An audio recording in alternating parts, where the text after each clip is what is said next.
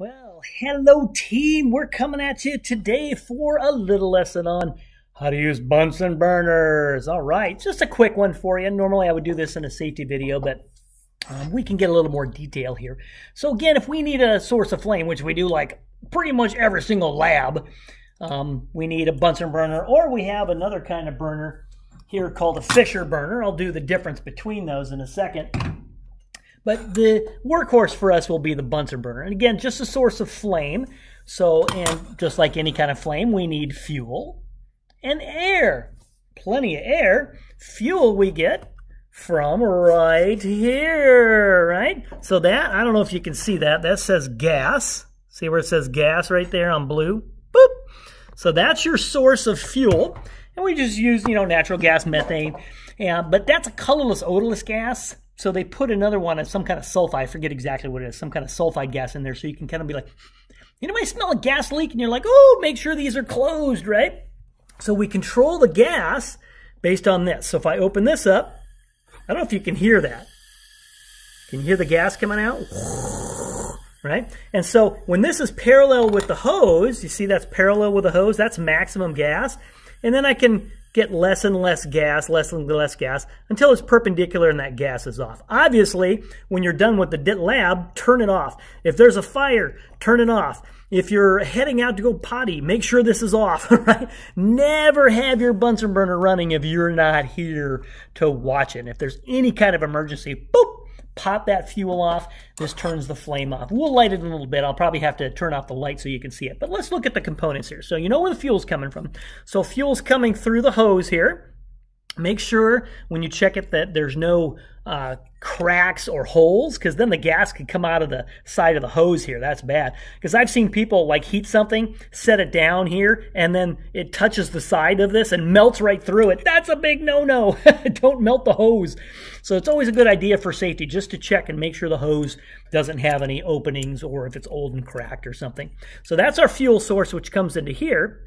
And then if you, normally you wouldn't unscrew this, but if you unscrew this, so the fuel, the fuel's coming out of there and then coming up through here and coming up into the barrel. All right, so we have a couple parts here. So what I'm grabbing is called the barrel.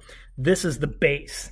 So if you're ever moving a Bunsen burner, typically we don't want to move a Bunsen burner, but we do have one particular lab where we have to do this and pick it up. You want to always pick it up from the base because the flame is going to be coming out of here because air is going to come in through here. See these little entrance ports? That controls how much air. So this would be like maximum air. This would be minimum air right? And that creates different kinds of flames. But if the flame's shooting up through here, because once the fuel comes up and hit mixes with the air, then you get the, we got to spark it. Of course, it's not going to happen on its own. But if we spark it, this gets really hot. So if you grab this to move, you'd be like, yeah, melted skin coming off, right? If if this flame is on, like I said, don't grab the the barrel. That's not, do you, should we move it by the hose? That would not be really smart to move it by the hose. Okay, so always if you have to move or pick up a Bunsen burner while it's on, do it from the base. You're not going to burn yourself or burn your neighbor or start a fire or something crazy like that. So when you're um, starting it, if you do too much air, right, which means lots of air, not as much fuel, you'll start it and it'll go and go out and go out and go out. That means you got too much air. So you want to do that. Now, if you don't have enough air, it won't light at all. You're, you're doing nothing. So I like to start it not full, not uh, zero, but about half and half. That usually gives me a good starting flame when I'm starting it. And then I can adjust it, and I'll show you the different types. If we have maximum air versus minimum air, what are the different types of flames that creates? Because we, we may have to adjust that on the fly in lab by turning this air input here. So let's start it with a half. Let's set this baby down. And how are we going to spark this? Well, don't ever use an open flame. If they have the gas on and the gas is coming out, that'd be just crazy to use a lighter or a match or something. that would not be smart. So use a sparker, right? And this is community supplies. We don't keep these in our drawers. They're usually up on top here. And all this is is just like you, ever, you know you ever watch the Flintstones? Fred Flintstone rub flint on stone, you get spark, light fire, right? Same thing here. So these have a really, if you could feel this, this is a really rough metal here, and when we move this, it scrapes flint. There's flint on here. It scrapes it across there and creates high kinetic energy particles of that flint that you can actually see. Uh, you ever drive on the freeway behind a truck that has a chain that's loose and it's hitting the road, and when the when the metal hits the road, little pieces come off that's high energy and they're like bright, like little bright lights. Bright light, Carolyn. Now, if I'm trying to, to get a spark and you're not getting anything, you want to check. So you can I can pull this out. Boop. And this right here is the flint. Now see how there's nothing there? It's like an eraser on a pencil that's been erased down to the nub and then you're just killing your paper, right? So that's just gone. Um, this actually comes off. So I can unscrew this and I can get a fresh cartridge. But that flint has been rubbed to the nub. Always check that because if I keep going, then the metal part rubs against this metal part and ruins my uh, stuff. So I'm just going to throw this away. And then you just find your instructor, and we have these cartridges of fresh flint. So you can pull one of these out. So this is what fresh flint, flint, fresh flint, fresh flint looks like, and this is what we pulled out of there. I don't even know if I can hold it. See how the flint's gone? So you need to get rid of that and get the fresh flint one. So I'm going to toss that in the trash. And I'm going to put this fresh flint, say that 10 times, so fresh flint, fresh flint, fresh flint. I found a new tongue twister. So that's all nice and tight. Now I got some good flint. So I can now put this back in there. And when I do it, see the sparks? Woohoo, baby! Now, a lot of people like to do it with one hand. I find two hands is easier, so I brace it with this hand. What I do is I hook my fingers. This is the part that slides. So I'm pulling, so I'm giving it torque so it pulls against. And then my thumb, I push. So I'm pushing on this side, pulling on this side, and it twists it. See how I'm twisting it? And so I'm giving it a, a lot of torque. So, so it's a, a, useful technique. One hand sometimes doesn't work real well, but you get two, boom, I can get lots of wee, lots of sparks, right?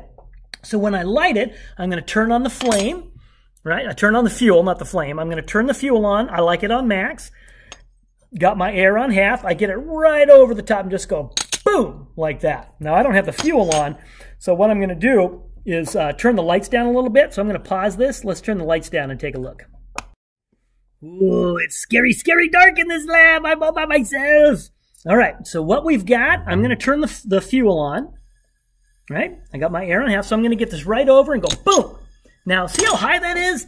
You don't want to be putting your face over that. Look how high that is. If you ever, that happened to me one time, I had my face over it and I lit it, boom, and it burned my mustache off. Don't put your face over the Bunsen burner when you're lighting it. so that height of that flame is really, we got a wild and crazy flame right now. So what you can do is you can just reduce the fuel and that reduces the height of your flame. See that? So I can control the height of my flame by the fuel amount. So I can have lots of really high flame, low flame. Now the type of flame I can control by moving the air input, right? So what I can do, if I do maximum air, can you hear it crackling? So now I'm going to get rid of the air. Now let it crackle. Do you hear it? Now another thing is, do you see that blue inner cone forming right there?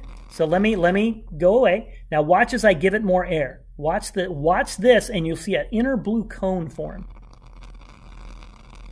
You see that? So ooh, that's hot. The tip of that inner blue cone is the hottest part of the flame. Right? So if you if it says to get a really really high flame or hot flame, you want to maximize the air, you'll hear the crackling and you get that tip of that blue cone, you're going to fry the doo-doo out of it. Super high temperature, all right? This tends to be a cleaner flame, a crisper flame, and a hotter flame when you have maximum air. Now, if I do, if I reduce the amount of air, watch. You lose the blue cone, you lose the crackling.